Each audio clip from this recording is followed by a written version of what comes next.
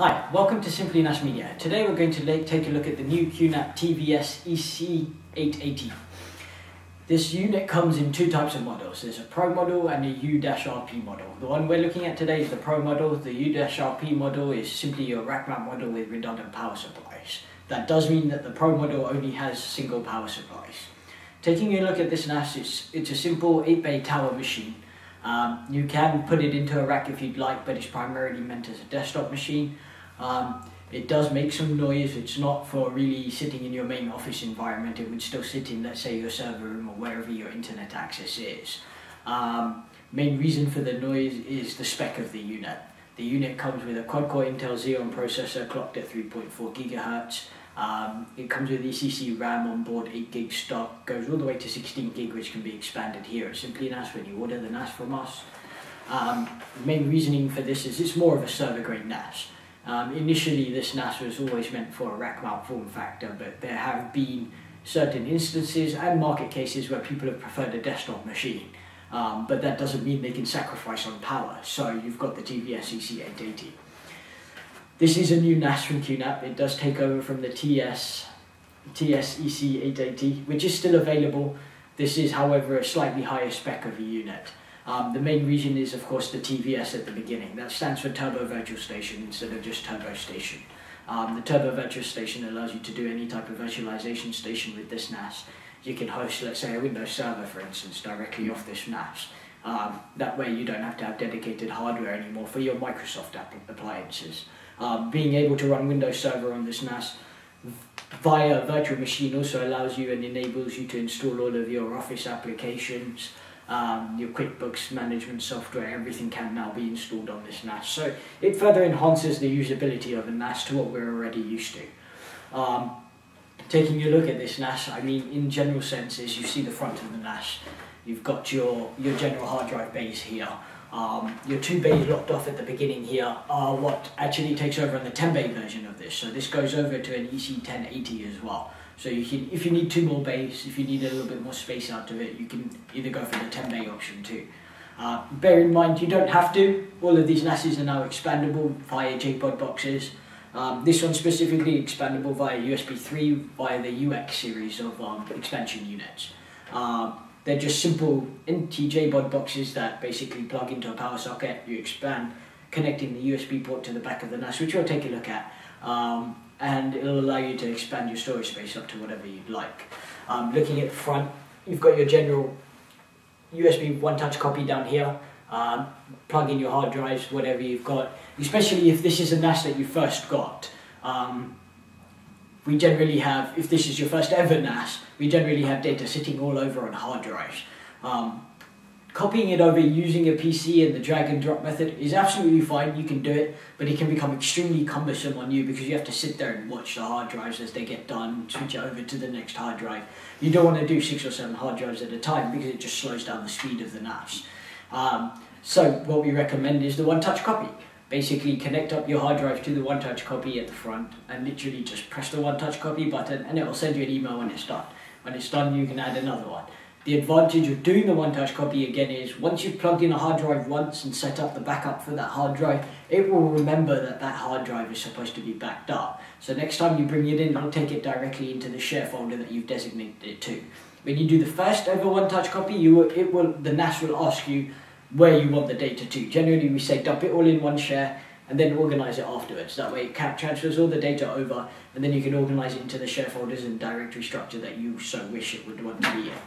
Um, the power button sits on top of the one-touch USB copy button. Um, of course, simple. That allows you to power on the unit. It also does allow you to shut down the unit. When you're going to shut down the unit, the best way is always going to be log into the web UI and manually shut down using the web user interface. However, let's say for whatever reason you have no access, you'll hold that power button for about 1.5 seconds. You get a message on the LCD that lets you know.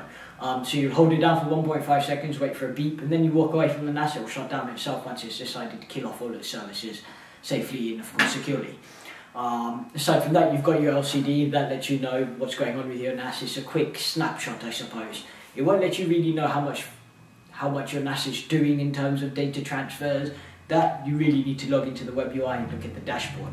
It will give you information of your IP addresses. Um, it will also allow you to change your IP addresses by pressing the enter button on the screen there and putting in a password, which the default password is 0000. Of course, we recommend you change all your default passwords, be it that one, be it the login for the admin panel too. Um, aside from that, that's generally the front of your NAS. Um, you've also got underneath every hard drive bay, you have your HDD status indicators. When your NAS is on, those will be green when your hard drives are absolutely fine.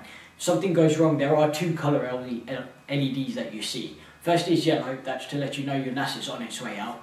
The second is of course red. Red always means stop. Your NAS is your NAS. Your NAS isn't dead. Your hard drive is dead. Um, depending on the raid you do, of course, you'll either protect yourself or you won't. Um, minimum, you should always do a RAID 5 that way, at least you protect yourself from one RAID crash. If you do as high as, let's say, RAID 10, I mean half your bays are redundant. So if one hard drive crashes, you're not even in a degraded state yet. Um, hot spares, good idea, unless you've, of course, got a spare hard drive sitting next to your NAS. If you've got a spare hard drive, then don't waste any space doing a hot spare.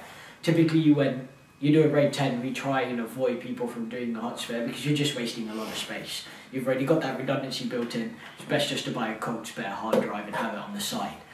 Um, typically, I mean, the only, let's say you've got four terabyte drives in here, your only restriction is four terabyte drive. Um, you can buy whatever brand again if you've, let's say, got HGST in here for now. We recommend you stick with the same brand and the same speed, but let's say for whatever reason the NAS doesn't fail five, six years down the line, that brand or that speed or that specific drive model is not available. As long as you stick to 4 terabyte, will be absolutely fine. Um, that's generally taking a look at the front of the NAS. Let's take a look at the back of the NAS and then we'll speak some more about it. Okay, taking a look at the back of the NAS, you have um, a plethora of ports on this NAS, unlike other smaller NASs, other desktop NASs. Um, again, this is more of an enterprise unit, so because of that, it'll provide you more functionality. Um, to start with, you've of course got your general power slot there and little PSU fan, which keeps the PSU cool. Um, the PSU is located all the way at the top here. It basically goes, I think, halfway through the unit from here. Um, it's not a small PSU by any means because it's powering an 8-bay enterprise NAS. Um, very rare for them to fail, so it's not something that we're worried about because it's only a single power supply. Uh, we typically don't have power supply failures on QNAP, they're very high quality power supplies. Um, uses your standard standard three pin um, PC connector for instance, the power supply is auto switching, it goes between 120 volts and 240 volts, so it works here in USA and it works anywhere in Europe as well, um, and of course China and elsewhere. Um, aside from that, you've got your USB ports here. QNAP give you a, a difference of USB ports. You've got um, you've got six USB 2.0 ports and you've got USB 3.0 ports at the back as well. Um, the USB 2.0 ports are generally utilized for, let's say, keyboards, mouses. Um, you can get some USB monitors now as well these days. Um, that way you can log into the NAS without needing network access. The USB 3 ports, I mean, you can use those for a keyboard and mouse, but typically we, reserve them for either external hard drives or in this case, as we mentioned earlier, the um, expansion units. Um, they will go to the USB 3 port instead of the USB 2 because USB 2 is just too slow for an expansion unit. It won't really get through anything for you. Okay, down here you've also got your HDMI port. Um, the HDMI port basically will allow you to attach a monitor to the NAS. Um, the NAS now allows you to initialize the NAS without network access using the HDMI port. You can actually set up RAID and everything. I mean, you have the LCD at the front to set up RAID, but some people like using the web management panel, so the HDMI will allow you to do that. Um, at the top, you've got two eSATAs. Um, eSATAs are typically only reserved for external hard drives. Um, there's certain external hard drives that only connect up via eSATA. Um, even an internal hard drive you can plug directly in using eSATA, but I mean, we'll never recommend using an internal hard drive externally without a shell. Um, but that being said, that, that functionality is still available if you do use it. It's not really a functionality many people use anymore. But again, as an enterprise NAS, they cover all the bases. Um, that's, that's basically taking a look at the back of the NAS. Don't forget you've got your two big fans here. This does output a bit of noise, as we mentioned before um, to keep the hard drives cool and keep the motherboard cool because the NAS does run at a very high I.O. load. Um, for instance, you can get about 2500 IOPS out of this NAS at one going time. Um, that does generate a lot of heat. Bear in mind, typically we install enterprise drives into this NAS, so they generate a bit more heat as well because they're working a lot harder than your regular hard drive. Bring your rag to the front, we'll have a few words about the NAS, and then we'll also make up the video for you. Okay, bringing you back around to the front, we just mentioned hard drives quite slightly. Let's talk a little bit more about them. Um, typically this type of NAS, you can install enterprise drives or desktop NAS drives. Um, we don't recommend going anything below and going into, let's say, just a standard desktop drive. Um, main reason being this is a NAS that outputs quite a lot of power if you use the right hard drives. Um, hard drives are very important to a NAS. They depend on the IOs you can get out of the NAS. So don't think because this NAS can give 2500 IOPS, if you put let's say a 5400 RPM Western Digital Red drive in here, you're not going to get those IOs performances because the drive cannot keep up with it, so you'll never get that output. The hard mm-hmm. drives are what gives you your output in terms of your data transfer rate because at the end of the day that's where you are putting your data.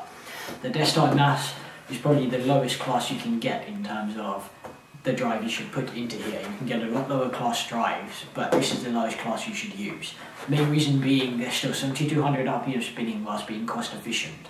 Um, they do run a little bit cooler than the enterprise drive.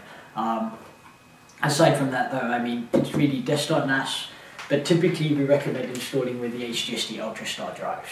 Um, these are your enterprise drives. Um, we found the HGST Ultrastar drives to probably be one of the better reliable drives in the industry at the moment, be it in 4 terabyte, 3 terabyte, 2 terabyte, 5 terabyte, 6 terabyte, or 8 terabyte now as well.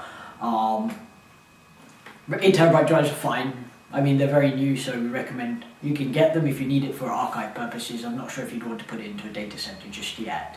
I'd give them a couple more months on the marketplace just to figure out all the kinks with the firmware.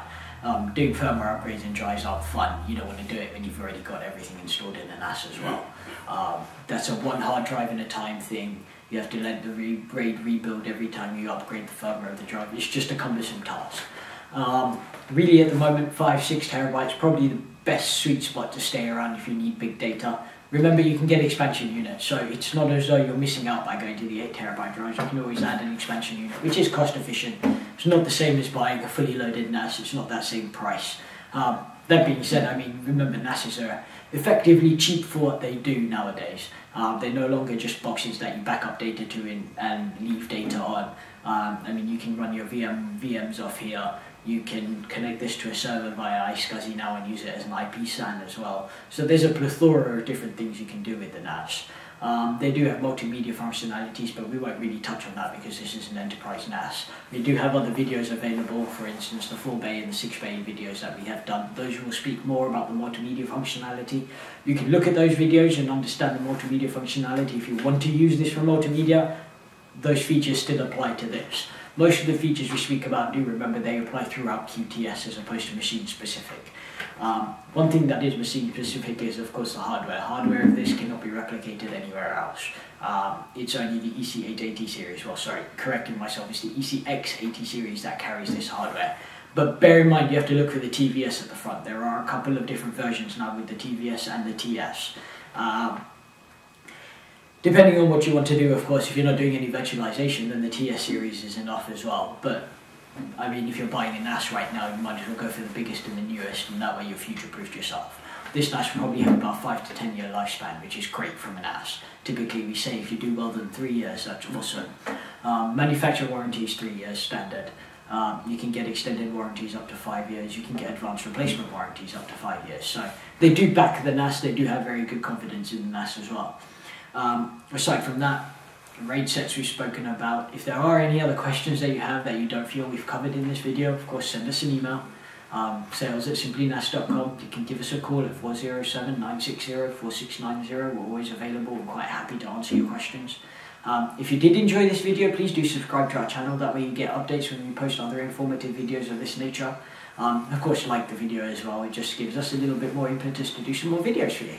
Um, aside from that, we thank you for joining us today. We hope you've enjoyed looking at the TVS EC880. Um, don't forget to subscribe to the channel. It does help us. It also helps you because we'll send videos out that are of nature of this type. Um, thank you very much. Have a wonderful day.